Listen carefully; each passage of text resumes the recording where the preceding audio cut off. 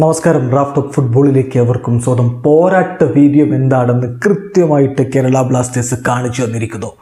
രണ്ട് ഗോളുകൾക്ക് ആദ്യ പകുതിയിൽ പിന്നിൽ പോയ കേരള ബ്ലാസ്റ്റേഴ്സാണ് അതിശക്തമായി തിരിച്ചടിച്ച് രണ്ടാം പകുതിയിൽ ഗോൾ വർഷം നടത്തി നാല് രണ്ടിന് എഫ് സി ഗോവയെ പരാജയപ്പെടുത്തിയിരിക്കുന്നത്. കൊച്ചിയിൽ നടന്ന മത്സരത്തിൽ കേരള ബ്ലാസ്റ്റേഴ്സിന് വേണ്ടി ദിമിത്രിയോസ് ഡയമൻഡ് കോസ് ഇരട്ട ഗോളുകൾ നേടിയപ്പോൾ ഡെയ്സുക്കെ സഖായിയും ഫെഡോർ ചേർന്നിച്ചും ഓരോ ഗോളുകൾ കണ്ടെത്തി. ഗോവയ്ക്ക് വേണ്ടി ബോർജസും യാസിറുമാണ് ഗോളുകൾ നേടിയത്.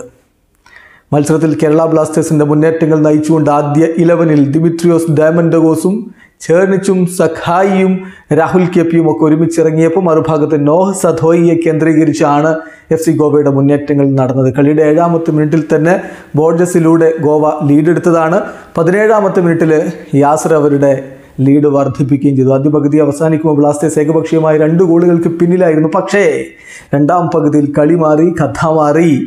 അൻപത്തി ഒന്നാമത്തെ മിനിറ്റിൽ ഡെയ്സുക്കെ സഖായിയുടെ കിഡിലൻ free kick goal K B F C തിരിച്ചു വരുന്നു. പിന്നെ എൺപത്തി ഒന്നാമത്തെ മിനിറ്റിൽ ലഭിച്ച പെനാൽറ്റി ദിമിത്രിയോസ് ഡെമൻഡോസ് വലയിലാക്കി ബ്ലാസ്റ്റേഴ്സ് ഒപ്പം പിടിക്കുന്നു. എൺപത്തിനാലാമത്തെ മിനിറ്റിൽ ഗോവയുടെ ഗോൾ കീപ്പറുടെ കയ്യിൽ നിന്ന് വഴുതിയ പന്ത് വലയിലേക്ക് അടിച്ചിട്ടുകൊണ്ട് ദിമി കേരള ബ്ലാസ്റ്റേഴ്സിന് ലീഡ് നേടിക്കൊടുത്തു. ഒടുവിൽ ഫെഡോർ ചെർണിച്ചിന്റെ കിടിലിനൊരു ഗോൾ കൂടി വരുമ്പോൾ കേരള ബ്ലാസ്റ്റേഴ്സ് രണ്ടിനെതിരെ നാല് ഗോളുകളുടെ തകർപ്പൻ ജയം തന്നെ സ്വന്തമാക്കിയിരിക്കുന്നു.